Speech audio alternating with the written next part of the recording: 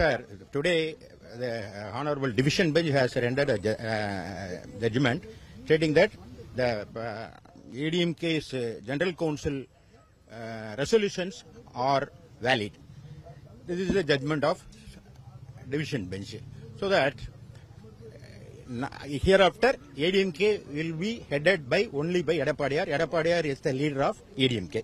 That is uh, approved by the High Court's order. So what was the argument put forward by EPS side before the High Court? Sir, we have, we have argued ADMK's General Council is the superior authority. This is the only argument. Superior authority has decided Edapadiyar uh, has to be a leader. It was accepted by the High Court.